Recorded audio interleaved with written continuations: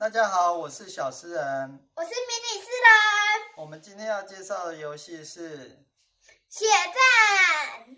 血战是由 Two Plus Games 玩家桌游于二零二二年十一月出版的一款纸笔策略战争游戏。那我们今天要来介绍的是剧本欧洲地图的游戏设置。那大家可以看一下规则书的第十四页。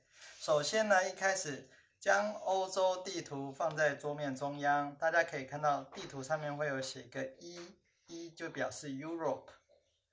接下来呢，我们会将背面写有战役卡，而且有写一的这个战役卡里面抽出三张放在地图的下方。那大家可以看到。在战役卡的左上方有一个四十一，那就表示这张战役卡是在一九四一年结束的时候结算。那我们可以放一个一九四一年的提示记号在 F one，就是纳维克的这个位置。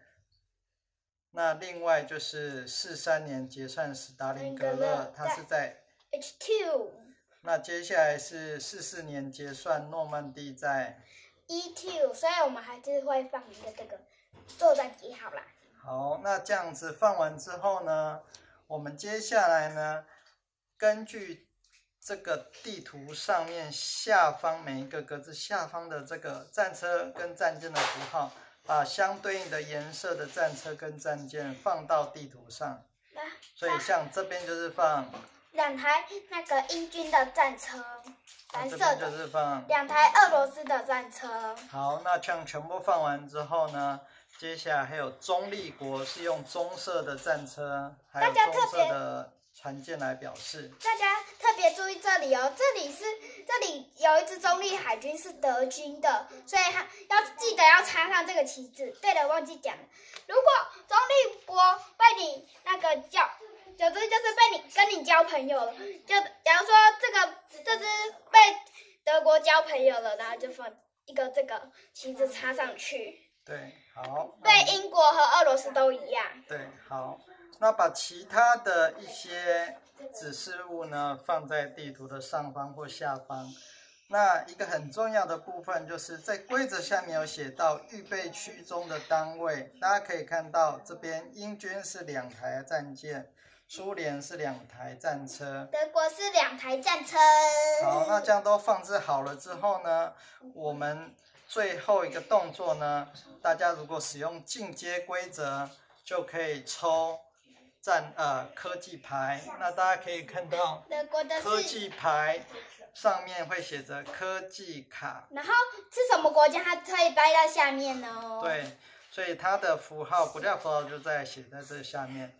那玩家呢，就是在这个剧本中，德国可以选择三张科技卡，英国选择两张，苏联选择两张。我们先挑出最基本的 U 潜舰，还有复仇武器，以及德德国的空军百蛇鸟。对，这三张是一些呃比较好用的科技卡，然后比较简单一点的基本。那苏联呃。英国我们是选择下午茶外交以及前卫号战舰。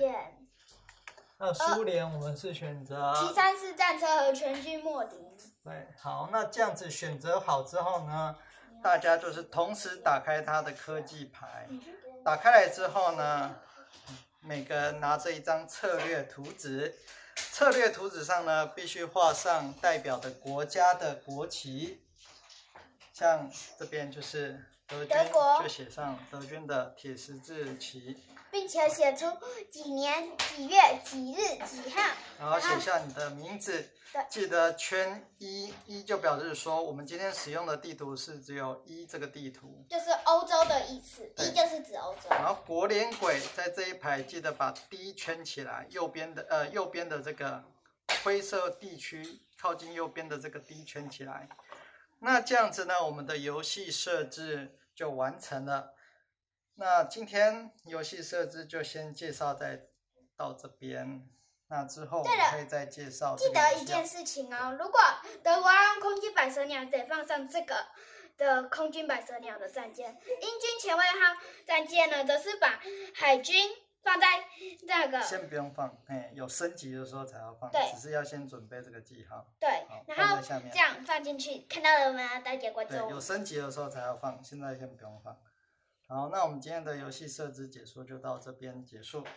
一姐，我是迷你书的，我是小诗人，我们下次再见。拜。